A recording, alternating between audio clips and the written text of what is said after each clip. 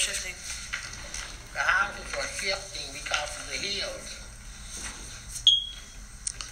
If you notice right here from West Florissant on up, it goes uphill. That's why the water run down so bad. And just like my the house over here is down in the front, up in the back, mm-hmm. like split levels. On that side, front and down in the back.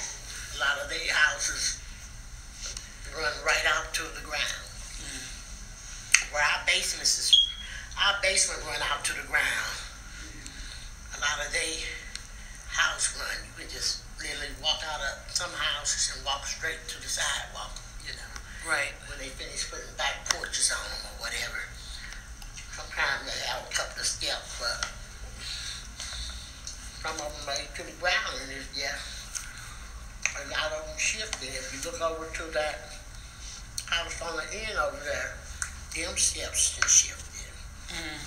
And, uh, my house down there, I could see where my porch was coming loose from, you know, but I would always cement it in,